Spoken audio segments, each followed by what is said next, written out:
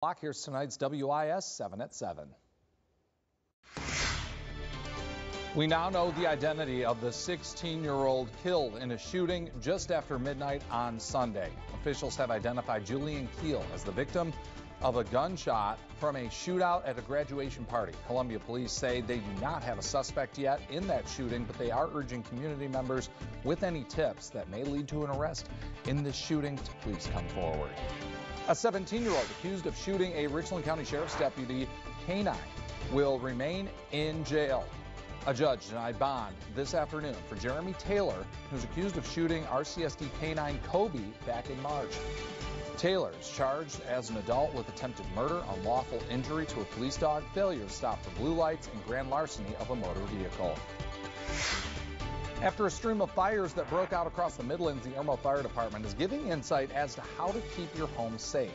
Tips include eliminating any possible cause for flames when you aren't home, unplugging overlooked items, and more. You can head to WISTV.com for his full comments.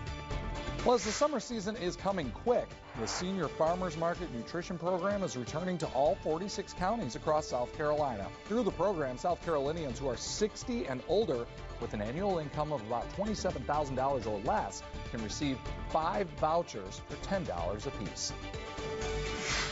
For the first time in U.S. history, the child of a sitting U.S. president is heading to trial. Jury selection began today in Delaware for the federal gun trial against Hunter Biden. He's accused of making false statements when purchasing a gun by checking a box that claimed he was not an active user of drugs.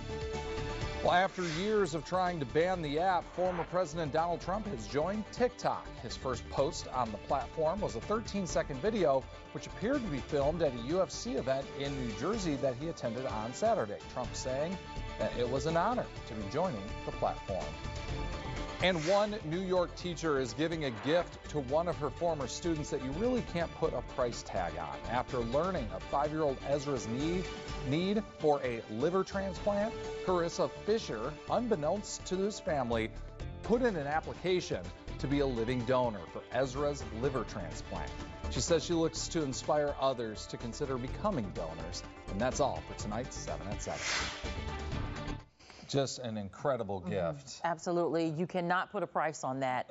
I mean, just amazing for her to want to do that for him. I know. Just it, beautiful. The connection, certainly, yes. that she has to her student, mm -hmm. and then to mm-hmm. make a sacrifice like that. Yeah. Wow. Pretty incredible. Yes.